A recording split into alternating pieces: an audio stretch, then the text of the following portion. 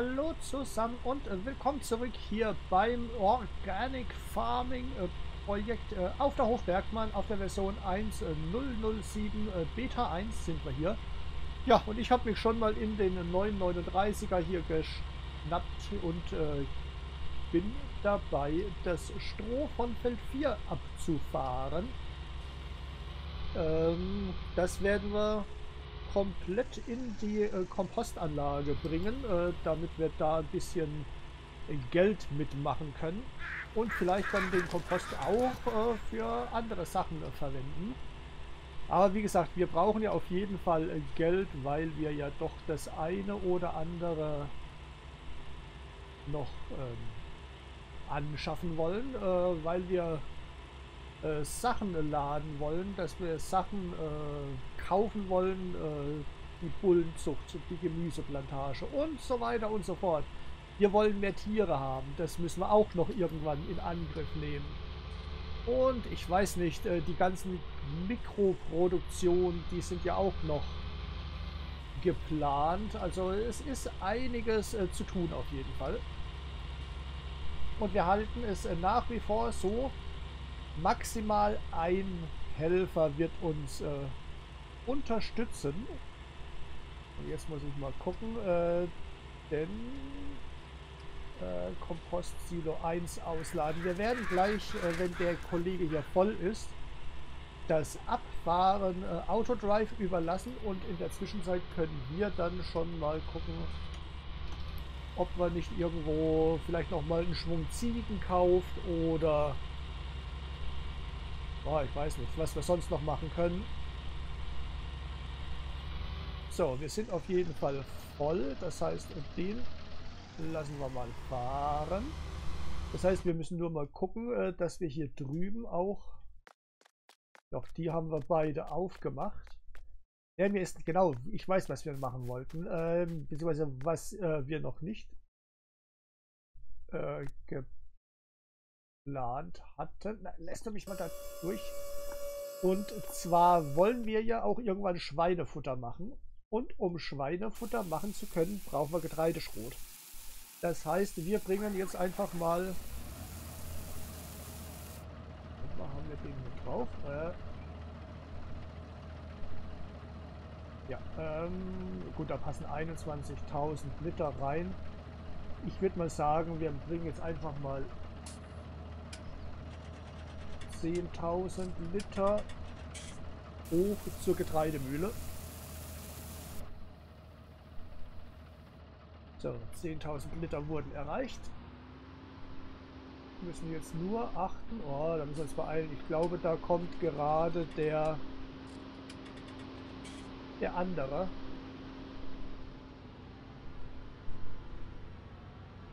Ähm, der andere. Was wollte ich sagen? Wie wollte ich sagen? Der Ladewagen.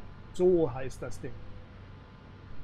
Der soll sich da schon mal schön rückwärts in das Kompostsilo stellen und wir fahren eben jetzt so geschwind schnell da hoch, kippen das ab. Und dann kann der ja im Grunde, können wir den dann wieder selbst zurückfahren lassen. Und zwar nicht zum Feld und nicht zum Hof, sondern Hofsilo ausladen.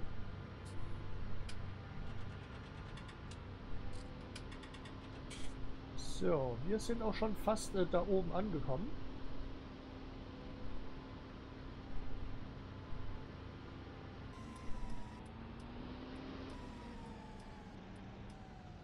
War ja hier die Abladung für die Produktion. Ja.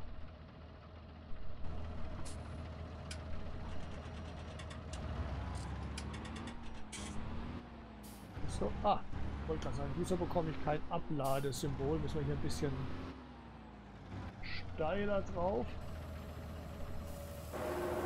So, ah, ich, ich höre es schon rum. Ich höre es schon rum.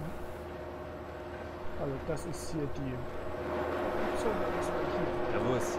Servus, genau. Weizen, Gerste, Hafer, ergibt Getreideschrot. 10.000 Liter haben wir, das passt. So, dann fährst du mir.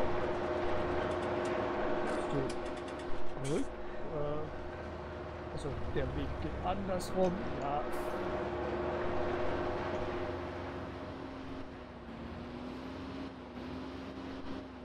Klar, dass wir wieder irgendwo ganz dämlich hängen bleiben.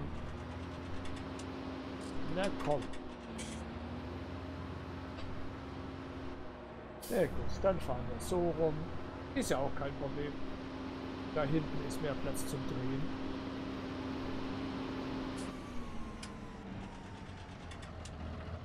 So, komm. Du fährst nach Hause. Und wir... Ja, der ist gut. Gut geparkt.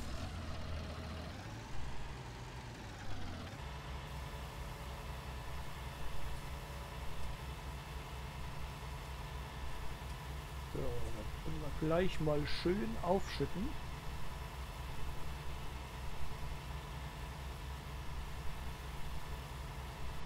Gut, und äh, weiter Stroh sammeln.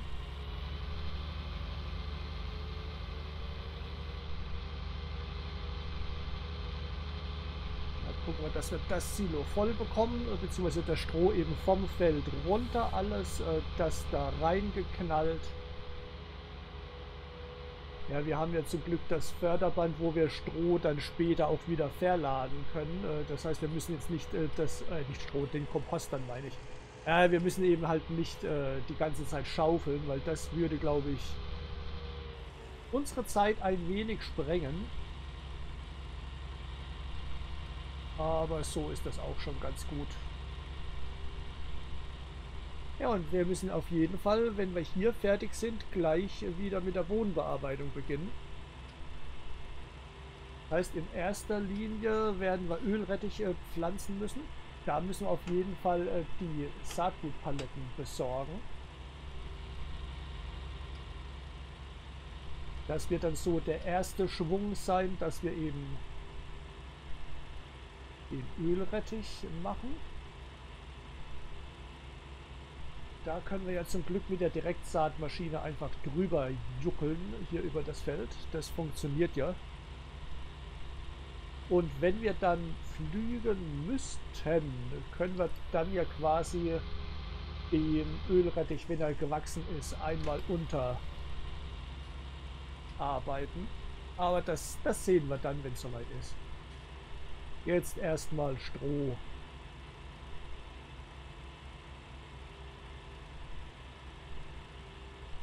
Stroh, Stroh, Stroh.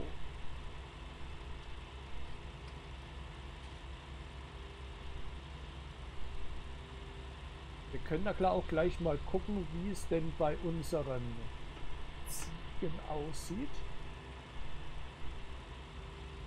Ob die schon die erste Milch gegeben haben. Dann können wir nämlich irgendwann auch mit der Milchgeschichte, beziehungsweise mit der Ziegenkäse-Geschichte loslegen.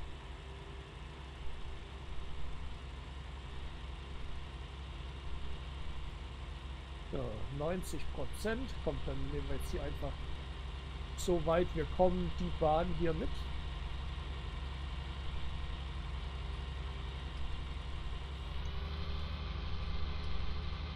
So. Fahren wir gehen zumindest hier bis auf die Straße. Ich weiß, dass wir gesagt haben, nur ein Helfer, aber der andere ist gerade blockiert. Den übernehmen wir. Ne, wo ist er? Hallo? Da ist doch der. Den machen wir nämlich hier raus. So, dann äh, würde ich sagen, lass uns doch nochmal äh, Ziegen kaufen.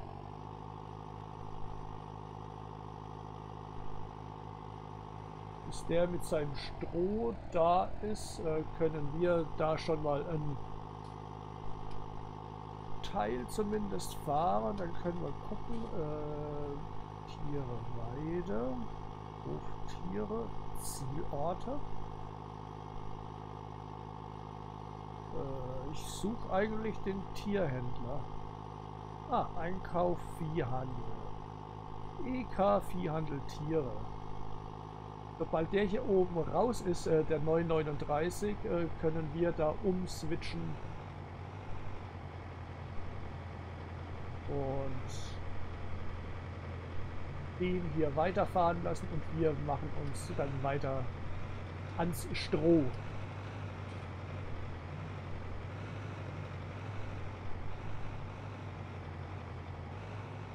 Ja, oder schaffen wir das sogar noch äh, komplett hoch? Hm. Könnte sich fast ausgehen.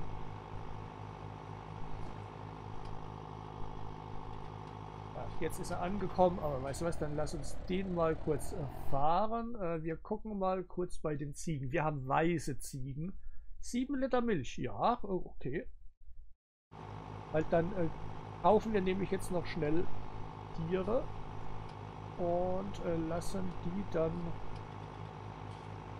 Tiere weide. Schafweide.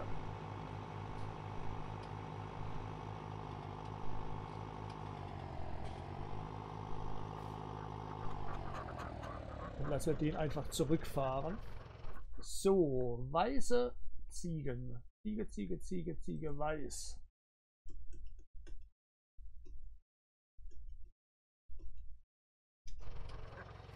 Gut, 4200 Euro. Ja, geht eigentlich.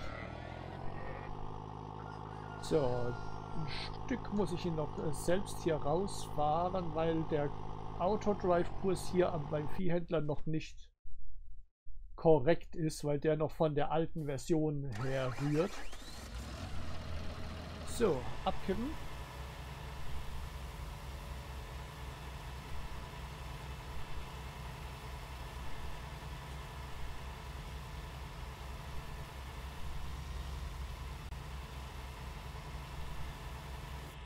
So, guck mal, und schon wieder sind wir leer. Wir werden gucken, dass wir jetzt über die nächsten Folgen vermutlich äh, den Ziegenbestand mal, ich sag mal so auf grob gesagt, 100 Ziegen Minimum äh, hoch äh, arbeiten. Das heißt, dass wir so viele Ziegen kaufen jetzt erstmal. Ja. Boah, dachte schon, da ist wieder irgendwas abgeschmiert. So, weiter geht's hier im Text.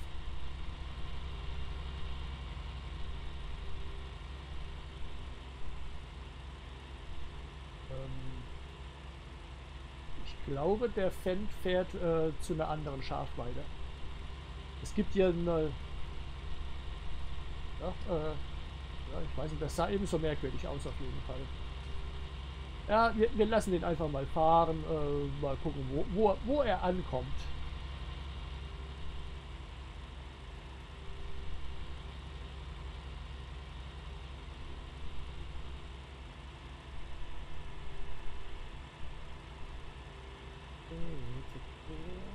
Ja, gucken wir mal, wie viel wir hier noch runterbekommen an Stroh.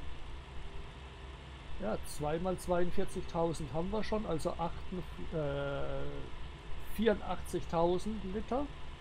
Und ich denke mal, drei Weigen jetzt bestimmt noch geben, weil da ist ja doch äh, gut was äh, gekommen.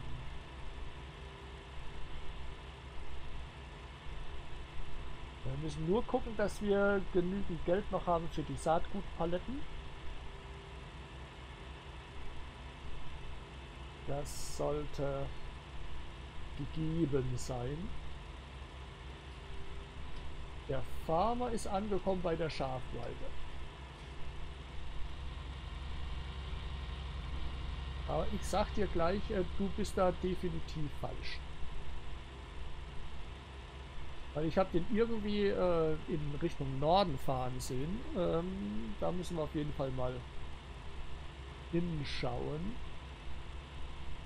wenn wir den Kollegen hier voll haben und der wieder seinen Weg äh, zurück Richtung Heimat macht. Ja, guck mal. Und schon äh, sagen wir es und schon ist er voll. Gut, dann fahren wir den mal kurz hier unten raus. Oh, fertig. Ja. Und weiter geht's. So, du bist definitiv falsch. Wie heißt denn das andere dann richtig? Wenn das die Weiden sind, dann müsste das ja Hoftiere sein. Für Schafe. Ja. Gut, äh, dann war ich falsch. Dann müssen wir jetzt aber erst einmal äh, selbst fahren.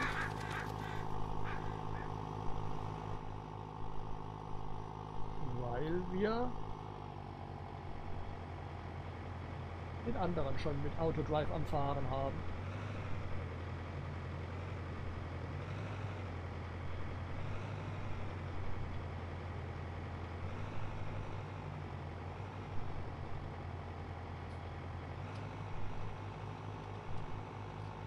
So. Fahren wir mal, ja.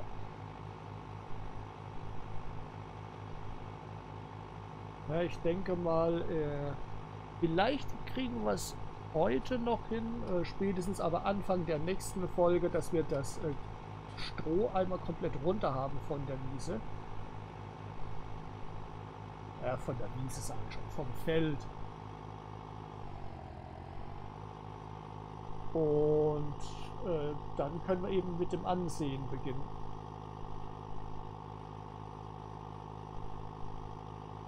Was na klar auch wieder eine Zeit lang dauern wird, aber da können wir zur Not auch wieder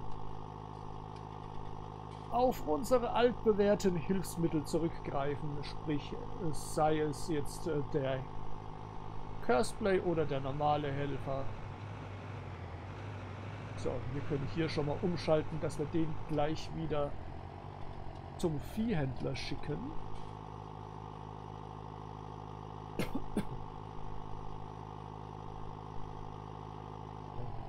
reicht das, wenn ich hier vorfahre? Ja, guck mal. Können wir abladen.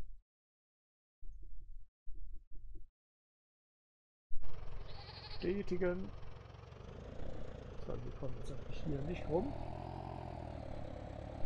Ähm, ja, das ist schlecht, was wir jetzt hier gemacht. Aber es geht. Es geht. So, komm, lenk ein. So, wir brauchen... Wo ist... Ähm... Hm, das hat doch sonst eigentlich immer geklappt und jetzt äh, verhängst du dich hier plötzlich. Macht auch nichts. So, was wir auch äh, in Angriff nehmen können, wäre ja die ähm, Dings, na, wie heißt das? Das Getreide veredeln.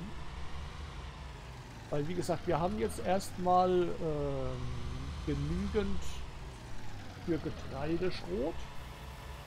Das wird ja gerade geschrotet sozusagen, damit wir Schweinefutter machen können.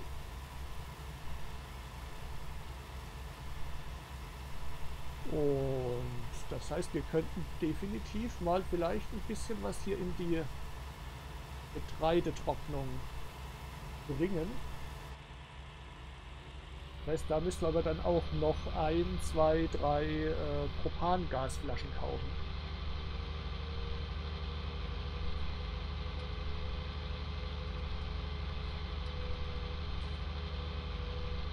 So, dann gucken wir mal, ob wir das jetzt äh, den Rest hier einmal reinbekommen in unseren tollen äh, Ladewagen.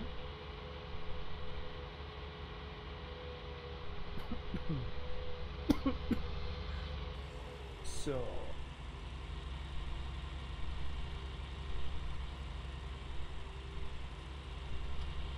Und los geht's. Aber ich glaube, wir werden da definitiv nochmal fahren müssen. Naja, macht auch nichts. Äh, Hauptsache, es kommt halt was äh, bei rum.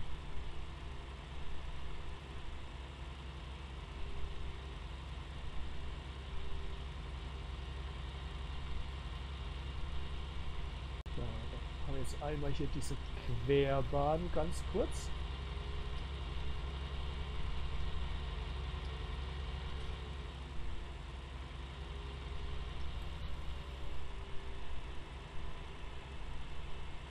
So, der Farmer ist bei den Tieren angekommen. Okay, das heißt, da können wir also auch gleich äh, wieder Tiere kaufen. Ich würde sagen, ich mache jetzt hier mal noch ein bisschen mit dem Stroh weiter, aber wir sind auch äh, schon äh, wieder fertig. Äh, das mag man kaum glauben. Äh, wie gesagt, ich äh, sammle hier zumindest mal noch einen Anhänger Stroh voll ein. wenn dann noch ein Rest da sein sollte, machen wir das morgen. Es könnte aber sich vielleicht sogar ausgehen. Äh, auf jeden Fall würde es mich freuen, wenn ihr morgen wieder reinschaut. Äh, 5 Uhr geht's weiter. Bis dahin, macht es gut und äh, tschüss.